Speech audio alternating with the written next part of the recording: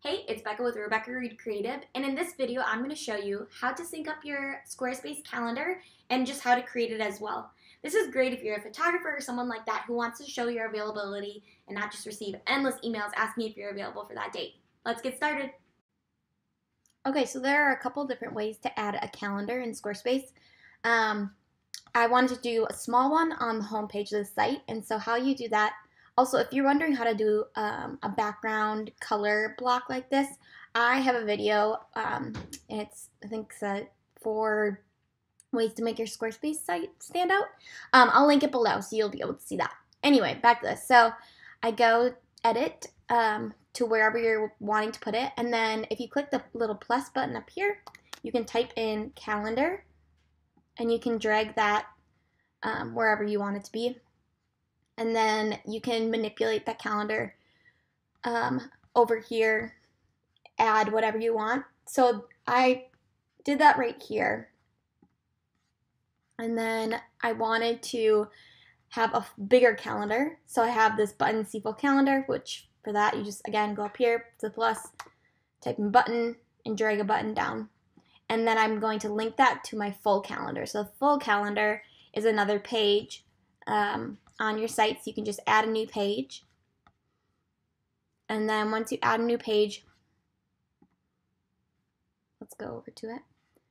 You're going to do the same thing. You're going to edit the page and then plus and then type in calendar or you might be able to find it and you can just drag it right in.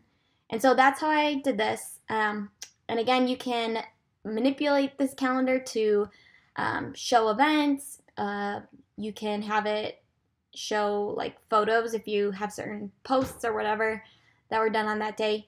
There's a lot of different things you can do. Okay, so to sync your calendar with events that you have, um, you can go into the calendar and just make sure that you have set it up to show your events.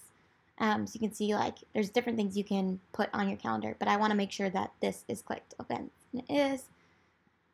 So then I go down to my events right here. If you don't see this, just go plus and you can add events. And then I will go into it and I've already created a few events, but you can just do plus. Um, I know that they are having yoga on Saturday.